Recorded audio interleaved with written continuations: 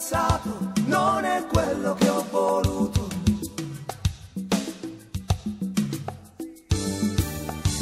Ed io qui neanche più che mi difendo.